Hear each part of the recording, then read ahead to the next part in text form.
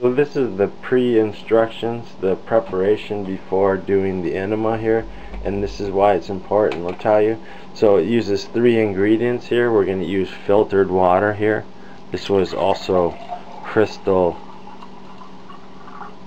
uh, made with crystals in the water certain crystals for the chakras.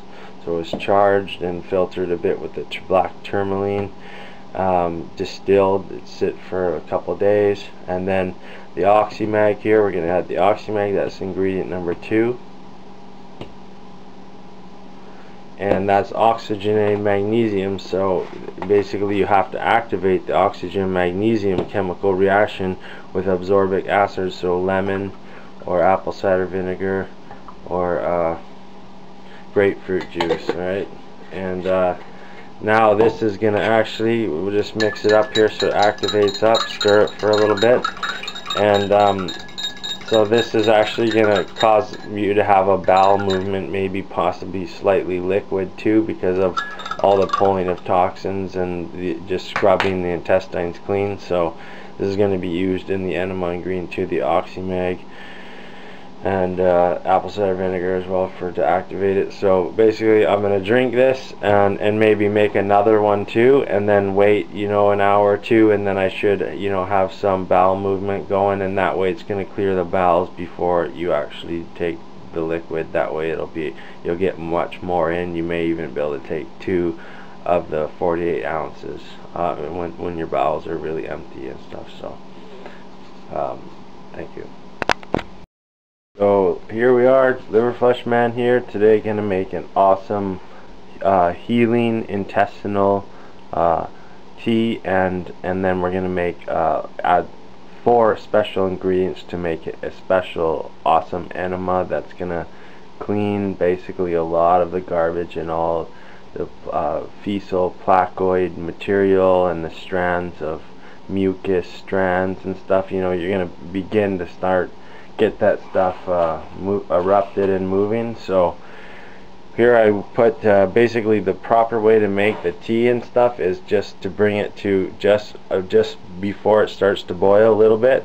Or if you're not using filtered water you can actually boil it for a couple minutes then turn it on low right to minimum all the way minimum. And then once it's you know settled then throw in your ginger and other ingredients like I talked about another video, this is going to also have this slippery elm bark, which uh, it puts a little coating, a healing coating over the intestines, and uh, combats, uh, you know, helps in the healing process and and getting and get rid of toxins as well. It helps absorbs toxins. And then about this, uh, we're going to put in the licorice root, which uh, is a also uh, used for bowels like laxatives and stuff ingredient to mix other ingredients. And it's also good tasting for the tea and you know good tasting for intestines too. And uh, slippery elm bark. Oh we we got that. And then last one there is the marshmallow root there marshmallow root. And that also has a coating that protects the intestines from back, uh, unfriendly bacteria and uh, things like candida and stuff. This helps the healing process and and if you're going to a raw food diet this helps to digest the raw food. So I'm um, just to stir that in and let it seep there in the not boiling version so that you get all the rich nutrients and stuff that was savored in the drying process and then you know it's uh, it's still what quite more active than if you boil the crap out of it kind of thing you know and then you know so um, those that's the the four ingredients. We got ginger we got slippery elm bark which you can get at like your local uh, herb shop marshmallow root and licorice root.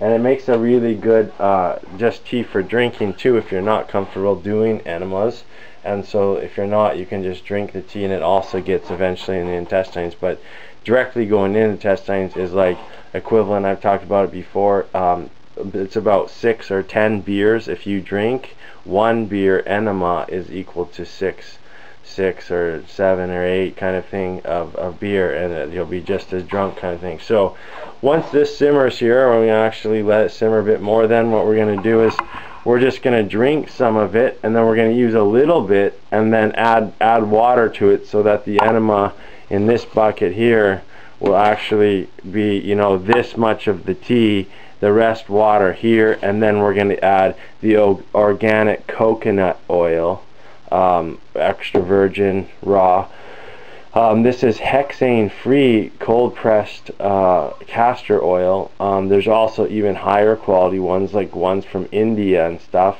Um, so this is cold pressed and you want hexane free. That's really important especially if you're going to do it internally.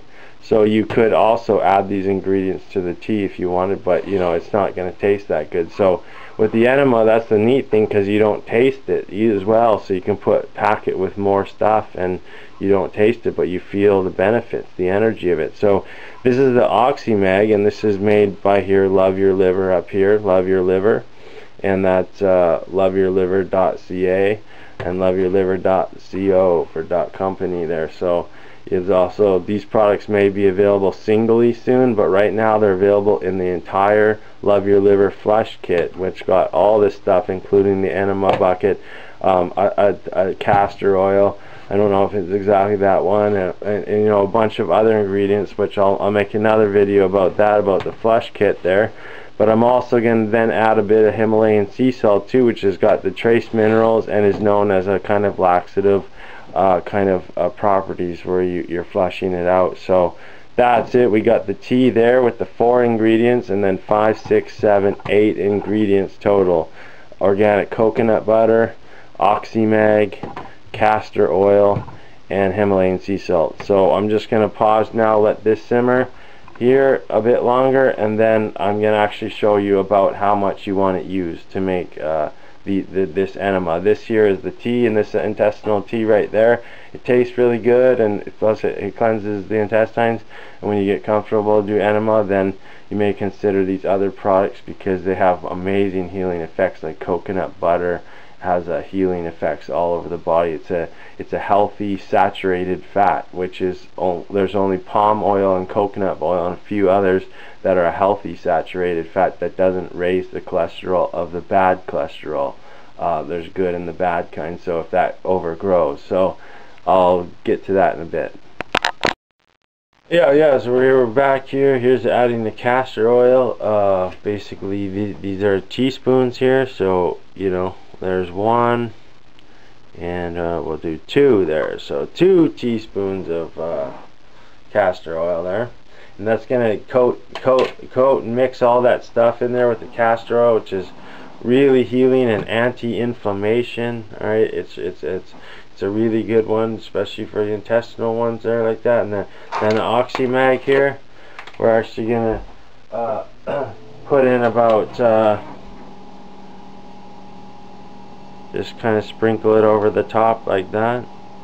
There that's about right and then we'll mix that in. And that's that that goes to wipe out the free radicals. It it acts as a super antioxidant but in order to activate it we have to actually use some absorbic acid. So um, absorbic acid is actually just comes from lemon. It sounds like a fancy word but it only just comes from lemons or grapefruit because uh, that's the natural ingredient. And then here we're going to use the Himalayan uh, sun-dried sea salt there. So a little bit of that. And that's the thing like you won't taste this so like the tea itself is really drinkable. And then when you mix all these ingredients in there as well it's uh, gonna act as a super cleanser. Um, the oxymag goes in there and kind of scrubs it clean like a scrub brush. And and basically um, you know it, the oxygen and the magnesium get activated with the lemon. So you can also if you don't have lemon you can also use uh, apple cider vinegar to activate it. So this is a jar of some apple cider vinegar. And uh, the apple cider vinegar is also would be also the good ingredient because it's it's uh, fermented so it's gonna have that beneficial bacteria and stuff. So this is like the super enema here right here. The super enema. There it is and uh, I don't think I'm gonna actually film doing the enema. I've done my other videos. I've been filming and stuff but I'm gonna go and actually do this one right now. And uh, I know it's going to be awesome. It's going to be really healing, and you know, in, when in doubt, just try it and see what happens, and you know, in the end, you'll probably be happy you did it. So that's liver flush man in and out. Oh, and yeah, just that last little bit, I just warmed up the bottom of this by putting in some warm water. So that was just that was the perfect way to do that, and then we're going to add the uh, coconut butter just to congeal it all together with an oil there like with the castor oil and the coconut oil really both healing. Mix her all up and that's it. Okay thanks guys. Have a have a good Christmas there 2012 December 16th or something today. So there you have it I'm just cleaning the enema bucket now and I I did the one there uh, the first one which is 48 ounces. Then I went back and did another one and uh, and then during that I, I, I did I held it for 10 minutes and then I went up and made another one and so I did two 48 ounces plus the first 48 ounce. Then I let that one go but then I did two so two 48 ounces in one shot. Um, and then I just wanted to show how to clean the enema bucket. You basically put soap right? This is like nice uh, seventh generation stuff and you put the soap in there and then you basically just run run the water on hot um, you got a little bit of cold but basically really hot and the soap goes up and then you can just turn it off there and one and then make sure it's on so it's uh, yeah it's on there so so yeah, it's coming out the bottom here and it just basically drains out like this down here. Right here the water's coming out here. And it, it works even better if you just put it up on the side of the sink here and then it flows even faster because there's a bit of gravity there so it flows nice and fast like that. And then uh, just clean out the sides here with the soap too with like a cloth or something as you're going. Even with your hands is pretty good but uh, your cloth. And I've already cleaned it so then you basically let the whole thing go through and it cleans it all and then rinse it out. So that's uh, the cleaning of the enema bucket.